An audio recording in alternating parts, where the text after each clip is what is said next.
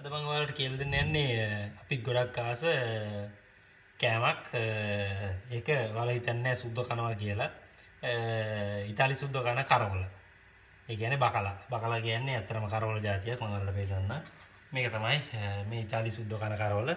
වෙනසක් නැහැ. මේ හොඳට ලුණු දාලා වේල්ලා තියෙන්නේ. මේක තමයි ඉතාලි කරවල කියන්නේ. අපේ විදිහට මේක කන්න පුළුවන් බැදලා කරලා. ඉතින් මේ මේ කරවල කොහොමද අපි හදන්නේ කියන එක තමයි අද මම ඔයාලට කියලා දෙන්න යන්නේ. අපි ඒක හදන්න ඉස්සෙල්ලා එකම දේ මේක හොඳට මම වතුරේ මේ කෑල්ලක් දැන් මම ඔයාලට පෙන්නන්න.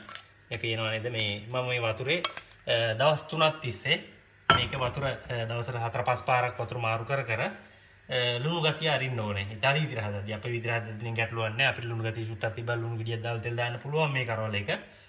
එහෙම නැත්නම් මේ බකලා එක. ඒ වුණාට මේ විදිහට හදා ඉතාලි විදිහට හදද්දී නම් අනිවාර්යයෙන් මේක දවස් 3ක් දවසට 4-5 පාරක්වත් අඩුම ගානේ වතුර මාරු කර කර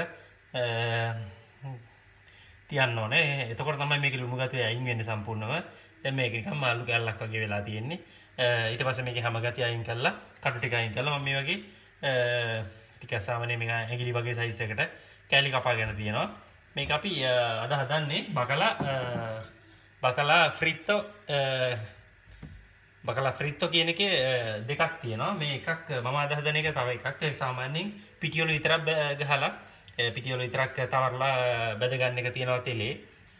මම අද කරන්නේ ෆ්‍රිතෝ ඉම්පස්තෙල්ලා. පස්තෙල්ලා කියන්නේ පිටි බැට එකක දාලා බැද ගන්න එක තමයි. මේ ගොඩක් ආසාවෙන් කනවා මේ ඉතාලියාවේ. ඉතාලියාවේ මේක දෙවි ජාති දෙක තුනක් දෙවිදයකට තුන් විදිහට හදනවා. මම අද ඔයාලට කියලා දෙන්නේ මේ ඒ පස්තෙල්ලා එකේ දවටලා බැද ගන්න විදිහ. එහෙම නැත්නම් බැට එක දවටලා බැද ගන්න විදිහ. අපිට මේකට ගොඩක් ජාති අවශ්‍ය වෙන්නේ නැහැ. මම මේ විදිහට දැන් ලුණු අයින් කරගත්ත බකලා කෑලි ප්‍රමාණයක් අරන් තියෙනවා. සාමාන්‍යයෙන් මෙයාලා මේකට බිත්තරයක් දාන්නේ නැත් මම බිත්තරයක් දානවා ටිකක් රසය වැඩි වෙන්න. දැනටත් මම බදින තෙල් එකක් රත් වෙන තියලා තියෙන්නේ. ඔයාලට පේනවා මේ ළඟ භාජනයේ තියෙන්නේ මේ බදින තෙල් එක. මම මුලින්ම මේකට පාවිච්චි කරන්නේ පාන් පිටි බේකින් පවුඩර් පොඩ්ඩක් පාවිච්චි කරනවා. සාමාන්‍යයෙන් ලුණු දාන්නේ නැහැ මේකට ලුණු තියෙන හින්දා. මදි පාඩුවක් තිබ්බත් උඩින් ඔයාලට මෙහෙම කරලා රාලා බැද්දාම වගේ පොඩ්ඩක් කියලා ගන්න පුළුවන් ලුණු ටිකක්. අපි දැන් මේකට මේ බැට එක හදාගමු. බැට එක හදාගන්න පාන් පිටි සාමාන්‍යයෙන් මම ග්‍රෑම් 200ක් 150 200ක් විතර වගේ ප්‍රමාණයක් දාගන්නවා. ඒක ලොකු ප්‍රශ්නයක් නෑ වෙනසක් වුණා කියන එක. අතේ මට්ටම හදාගන්නවා. මේකට ගෑස් වතුර ටිකක් තිබ්බනම් වඩා හොඳයි. මගේ අතර ගෑස් වතුර නෑ. ගෑස් වතුර තියෙනවා ඔයාලට බේකින් පවුඩර් දාන්න අවශ්‍යතාවයක් මේකට වෙන්නේ නෑ. ගෑස් වතුරෙන් අනන්න පුළුවන් වුණා නම් මේකට බේකින් පවුඩර් හැඳි භාගයක් විතර වගේ පොඩ්ඩක් මිශ්‍ර කරගන්නවා. නිකන් ඝනකම ගතිය හිටින්න. දැන් ඊට පස්සේ මේක අපි වතුරෙන් අනාගමු.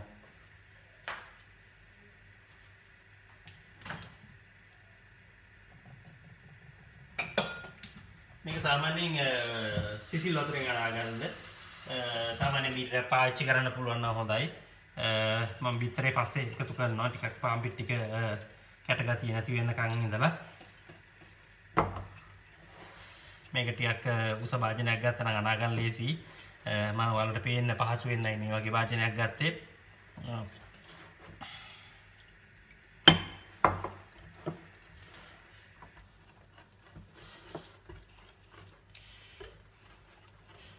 ගෑස් වතුරයි පිටි විතරයි මේ පස්තල් එකට සාමාන්‍යයෙන් පාවිච්චි කරන්නේ. ගෑස් වතුර නැති කෙනෙකුට බේකින් පවුඩර් පොඩ්ඩක් පාවිච්චි කරන්න පුළුවන්.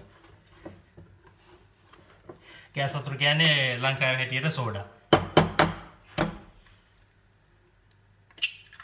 ඒක ලංකාවේ කෙනෙකුට සෝඩා. එහෙම නැත්නම් බියර් චුට්ටක් පාවිච්චි කරත් ප්‍රශ්නයක් නැහැ. සිසිල් ටිකක් සීතලෙන් ගත්තාම වැඩිය හොඳයි. සාමාන්‍ය පස්තල් එකක් කනද්දී. මේ විදිහට මම වතුර කෝප්පයක් විතර දාලා මේ පස්තල් එක හදාගත්තා. ඔයාලට දැන් පේනවා ඒක පාපයක් වගේ අතිර තියෙනවා. තාපයක් නෙවෙයි ටික ක්‍රීමි ගතියට මේ පස්තල් එක ලෑස්ති වුණාට පස්සේ මේක සාමාන්‍යයෙන් අපිට තෙලේ ගැඹුරු තෙලේ බැද ගන්න තියෙන්නේ තෙල් එක හොඳට රත් වෙලා තියෙන්න ඕනේ මේ කර මම කිව්වා වගේ වතුරේ තියලා ගත්තේ නැත්තම් කන්න බෑ. ඒ තරමට ලුණු ගතිය වැඩි. මේකින්ද තිස්සේම හරි පරිස්සම් වෙන්න. දැන් මම මේ කැබලි කීපයක් මේ විදිහට මගේ තෙල් එක රත් වෙලා තියෙන්නේ. මේ විදිහට පිටි වල තවරලා ගන්නවා. අරන් අපිට තියෙන මේක. ටිකක් රවුම් පාට වෙනකන් තෙලේ බැද ගන්න විතරයි. මේක තමයි මේකේ ලොකු මෙනු එකක් නෑ අර. විශේෂත්වය තියෙන මේක බකලා කොහොමද කන්නේ කියලා සමහරව දන්නේ නෑ. ඒකින්දයි මම මේක බකලා හදන විදිහ හදලා කියලා දෙන්නේ. මම ඔයාලට දවසක ආයි කියලා දෙන්නම් මේක අපේ විදිහට කොහොමද බකලා හදන්නේ කියන එකත් තවත් විදිහකට මේක හදනවා බකලයි නූමිලෝ කියලා. ඒකත් මම දවසක් කියලා දෙන්නම්.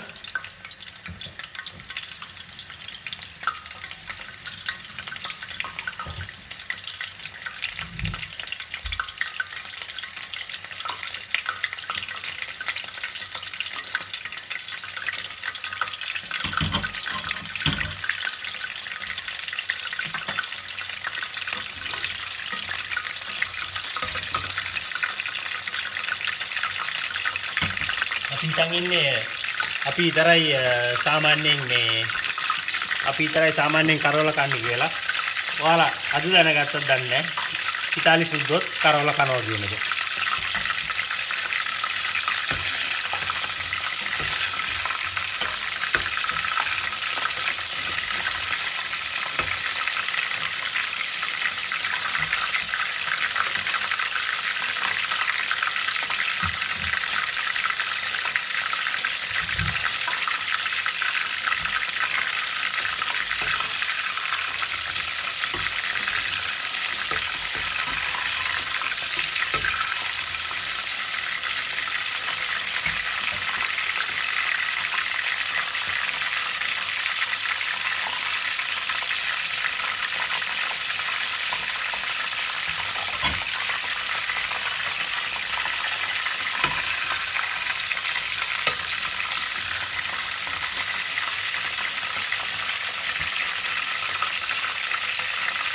තව විනාඩියක් විතර යනකොට අපේ බකලා එක ලෑස්ති කෑමට.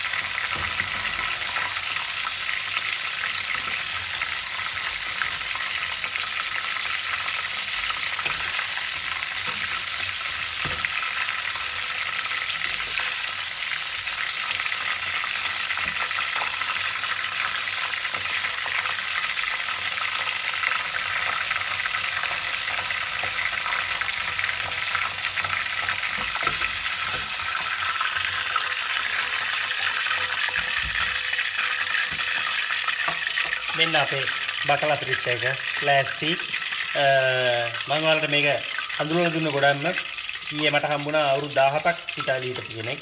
එයාලා දැනන් හිටියේ නෑ මේ බකලා කියන්නේ කොහොමද කන්නේ කියලා ලංකාවේ විතර කන්න පුළුවන් කියන එකවත් දැනන් හිටියේ නෑ. ඉතින් ඇත්තට මේක කරවල වගේමයි. මේ විදිහට හදුවම කරවල ගතියක් නෑ මේක මාළු වගේ කිසිම ගැටලුවක් නැතුව කන්න පුළුවන්. ඉතුරු මේ බකලා හදන විදිහ රෙසිපි ටිකත් මම ඉස්සරහට ඔයාලට අරන් එන්න. මේ විදිහට හදලා බලන්න මෙහි ඉන්න කෙනෙක්. හරිම රසවත් කෑමක්. පොඩි ඇත් අකමැති වෙන ගන්න මේක බැදපු මාළු හින්දා. බලන්න ඔයාලා හදලා මේක ලංකාවේ කෙනෙකුට නම් වැදගත් වෙන්නේ නැහැ නෝනට මේ කෙනෙකුට මේක වැදගත් වෙයි